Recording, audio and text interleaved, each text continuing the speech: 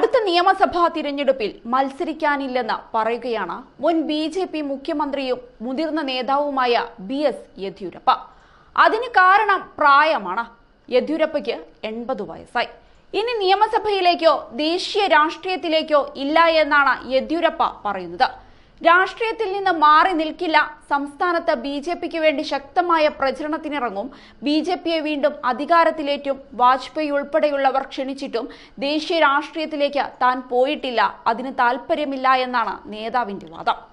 മുഖ്യമന്ത്രി ബസവരാജ് ബൊമ്മയ്ക്കെതിരെ പാർട്ടിയിൽ പടയൊരുക്കം തുടരുന്നതിനിടെയാണ് യെദ്യൂരപ്പയുടെ പ്രഖ്യാപനം. അതുകൊണ്ട് തന്നെ യെദ്യൂരപ്പയുടെ ഇനിയുള്ള നീക്കങ്ങൾ കർണാടക രാഷ്ട്രീയം വളരെ ആകാംക്ഷയോടെയാണ് ഉറ്റുനോക്കപ്പെടുന്നത്.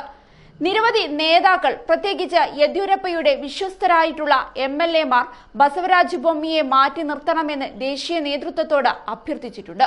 ബൊമ്മിയെ മുന്നിൽ നിർത്തി നയിച്ചാൽ കനത്ത തിരിച്ചടി നേരിടേണ്ടി വരുമെന്നാണ് നേതാക്കളുടെ മുന്നറിയിപ്പ്. ഭരണവിരുദ്ധ വികാരം അഴിമതി തുടങ്ങി നിരവധി വിഷയങ്ങൾ പാർട്ടിക്ക് വെല്ലുവിളി തീർക്കുന്നുണ്ട്. മാത്രമല്ല ലിംഗായത്ത് നേതാവായ യെദ്യൂരപ്പയെ മുഖ്യമന്ത്രി സ്ഥാനത്ത് നിന്ന് മാറ്റി നിർത്തിയപ്പോൾ ഇടഞ്ഞ ലിംഗായത്ത് നേതൃത്വവും ബി ജെ പിക്ക് തലവേദനയാണ്. ലിംഗായത്ത് വോട്ടുകൾ പെട്ടിയിൽ വീഴണമെങ്കിൽ യെദ്യൂരപ്പ ഒപ്പം തന്നെ വേണമെന്നാണ് പാർട്ടിയിലെ മുതിർന്ന നേതാക്കളുടെ വികാരം.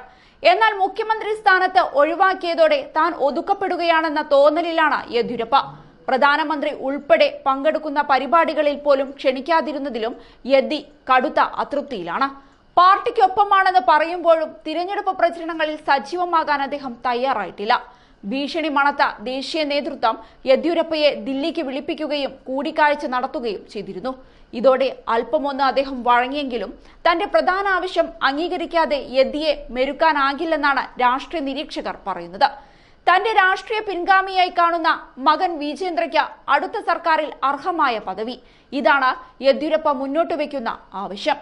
മകനെ ഉപമുഖ്യമന്ത്രിയാക്കണമെന്നതാണ് പ്രധാന ആവശ്യം. എന്നാൽ യെദ്ദിയുടെ ആവശ്യം അംഗീകരിക്കുന്നത് തെറ്റായ സന്ദേശം നൽകുമെന്നാണ് ബി ജെ പി ദേശീയ നേതൃത്വത്തിന്റെ വിലയിരുത്തൽ. മാത്രമല്ല യെദ്ദിയുടെ പുറത്താക്കലിന് തന്നെ വഴിവെച്ചത് സർക്കാരിൽ വിജേന്ദ്രയുടെ അനാവശ്യ ഇടപെടലായിരുന്നു. വിജേന്ദ്ര സൂപ്പർ സി എം കളിക്കുകയാണെന്നായിരുന്നു അന്ന് യെദ്ദിക്കും മകനുമെതിരെ B J P M L എമാർ ദേശീയ നേതൃത്വത്തിന് പരാതി നൽകിയത്. അതുകൊണ്ട് തന്നെ വിജേന്ദ്രയ്ക്ക് ഉന്നത പദവികൾ നൽകുന്നത് ബി മറ്റൊരു പൊട്ടിത്തെറിക്കും കാരണമായേക്കുമെന്ന ആശങ്കയും നേതൃത്വത്തിനുണ്ട്.